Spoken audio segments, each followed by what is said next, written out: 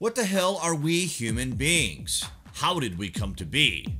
Above all else, what's our purpose?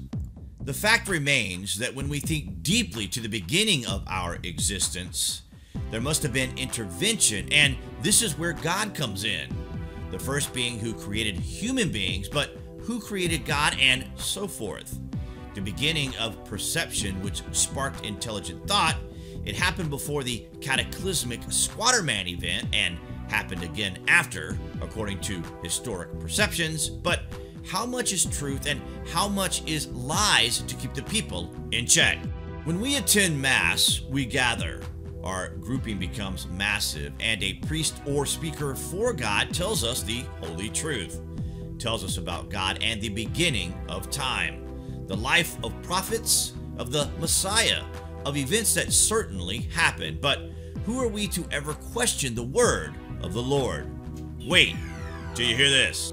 So vivid was the Great Father's celestial image, and so overpowering was his influence on civilization in its infancy, that the ancient chroniclers often gave him human form, recalling him as the first man. But he was no mortal of flesh and blood. In his original character, he upheld the cosmos as the Heaven Man, a celestial giant whose body encompassed all the gods and composed the primeval matter of creation. The Great Father reigned over the prosperous age and then departed in great upheavals.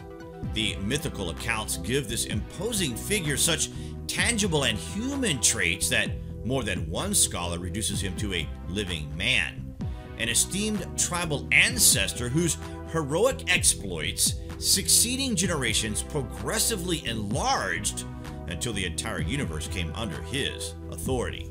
This is the approach of William Ridgway, who, in a survey of the best known figures of the Great Father, argues that only an actual tribal chief could have left such a profound imprint on primitive communities.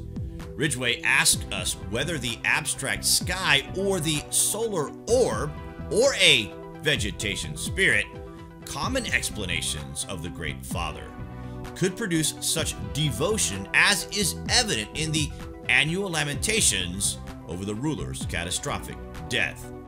Osiris, Brahma, Tammuz, Quetzalcoatl, their devotees remember each as a living ancestor whose passing was a terrifying calamity. Of course, Ridgway does not assume that one man alone accounts for all the traditions of a great father. Rather, he seeks to identify each in terms of a historical figure quite distinct from the venerated ancestors of other tribes. If his arguments against prevailing astronomical and vegetation theories carry great weight, they fail to explain the global parallel between the respected myths. Nor can one reconcile Ridgway's interpretation with the incontrovertible fact that in the earliest accounts, the Great Father is manifestly cosmic.